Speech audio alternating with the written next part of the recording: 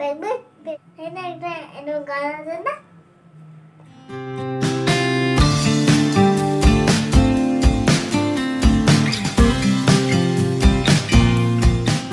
Hello everyone baby and মেয়ের নতুন একটা ব্লগে তোমাদের সকলকে স্বাগত। পুজোর আগে পুচকুগুলোর জন্য একটা স্কিন কেয়ার শেয়ার করব, তোমাদেরকে কথা দিয়েছিলাম। তো সেই মতো আজকে ভিডিওটা নিয়ে হাজির হয়েছি। পুজোর আগে বলে শুধু নয়, বাচ্চাদের কিন্তু সারা বছরে স্কিন কেয়ার করাটা ভীষণ দরকার। আর পুজোর পরই ওয়েদারটা কিন্তু আস্তে আস্তে দেখবে চেঞ্জ হতে শুরু করবে। আস্তে আস্তে শীতের দিকে ঢুকবে ওয়েদারটা তো সেই জন্য এখন থেকে কিন্তু বাচ্চাদের স্কিনটাকে আরও বেশি বেশি করে আমাদের যত্ন নেওয়াটা ভীষণ দরকার। নাহলে কিন্তু শীতে বাচ্চাদের স্কিনটা ভীষণ ড্যামেজ হয়ে যায়। এটা তো গেল একটা কথা। আর একটা জিনিস হয় যখন আমরা বাচ্চাদের পুরনো ফটোগুলো দেখি, তখন মনে হয় না যে বাচ্চাগুলোর যেন আগের যে সুন্দর শুভ্র রঙটা ছিল, সেটা যেন আস্তে আস্তে কোথায় কালো হয়ে যাচ্ছে। তোমাদের মনে হয় কি না জানি না, তবে আমি যখন আদৌ ছোটোবেলার ফটোগুলো দেখি, আমার কিন্তু এটাই ফিল হয়।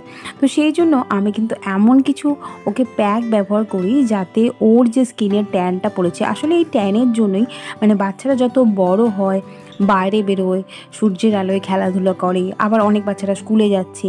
তো সূর্যের আলো লাগছে পলিউশন লাগছে, সেই জন্য বাচ্চাদের কালারটা কিন্তু আস্তে আস্তে চাপা পড়ে যায়। তো সেই জন্য কি হয়, ওই ট্যানটা রিমুভ করতে আমরা কিন্তু কিছু প্রাকৃতিক উপায়ে বাচ্চাদের সেই ট্যানটাকে রিমুভ করতে পারি। আর সেই ট্যানটাকে রিমুভ করার জন্যই কিন্তু আমি এই ন্যাচারাল প্যাকগুলো আদৌ স্কিনে ব্যবহার করি, যেগুলো তোমাদের সাথে শেয়ার করে আসছি। আজকেও একটা নতুন প্যাক নিয়ে হাজির হয়েছি। আর অনেক সময় তোমরা বলো কি, বাচ্চাদের প্যাক মাখানো যায় না, বাচ্চাদের একদম এক জায়গায় বসিয়ে রাখতে পারি না। তো আমি বলব, বাচ্চাদের যখনই কোনো রকম প্যাক হেয়ার প্যাক বা চুলে কোনো তেল মাখাচ্ছ, তখন বাচ্চাদের সাথে কন্টিনিউ কথা বলতে থাকতে হবে। মানে বাচ্চাদের পছন্দের কোনো রাইমস পছন্দের কোনো গল্প, পছন্দের কোনো গান, এগুলো বলতে বলতে বাচ্চাদেরকে কিন্তু একটু এন্টেন এন্টারটেন রাখতে হবে। তাহলেই কিন্তু বাচ্চারা একটা জায়গায় বসে থাকবে। নাহলে কোনো বাচ্চাই কিন্তু একটা জায়গায় বসে থাকার পাত্রী নয়। ওরা ছুটোছুটি করবেই, ওরা দৌড়াদৌড়ি করবে, ওদের মানে দুষ্টুমি করাটা ওদের একটা অধিকার বলতে পারো। তো সেই জন্য যারাই এই সমস্যাটায় ভোগো যে বাচ্চা একদম বসতে চায় না, বাচ্চা একদম প্যাক মাখাবো কি ছুটো দৌড়ি করে, তো তাদের, তারা এই পন্থাটা ব্যবহার করতে পারো। দেখবে ভীষণ ভালো কাজে দিচ্ছে। আদৌকে যেটা আমি করি, দেখতেই পাচ্ছ ও কন্টিনিউ কথা বলছে আমার সাথে, তো সেইভাবেই প্যাকটা আমি ব্যবহার করি। এখানে আদৌকে আমি যে প্যাকটা ব্যবহার করছি, সেটা কীভাবে বানাচ্ছি চলো তোমাদের সাথে শেয়ার করি। তো প্রথমেই দেখো, এখানে নিয়ে নিয়েছি কাঁচা দুধ এবং তার সাথে একটু সরও নিয়ে নিয়েছি একটা বাটিতে আর নিয়ে নিয়েছি এখানে ইনস্ট্যান্ট ওটস এটা তো কম বেশি আমাদের সবার বাড়িতেই মোটামুটি থাকে। আর নিয়ে নিয়েছি পাকা পেঁপে। পাকা পেঁপে কিন্তু আমাদের স্কিনকে ভীষণ ভালোভাবে গ্লোয়িং করে, ভীষণ ভালো ময়েশ্চার দেয়। এই জন্য কিন্তু পাকা পেঁপে ভীষণ ভালো এবং পাকা পেঁপে খাওয়াও কিন্তু ভীষণ ভালো।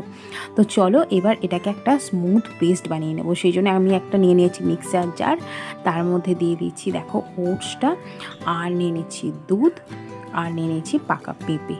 এটা পেস্ট আমি এই জন্যই বানাচ্ছি, কারণ বাচ্চাদের স্কিনে আমরা যাই অ্যাপ্লাই করি না কেন, সেটা একটু স্মুথ হলে তবেই ভালো। যদি একটু খড়খড়ে থাকে বা রাফ থাকে, তাহলে কিন্তু বাচ্চা স্কিন ড্যামেজ হতে পারে।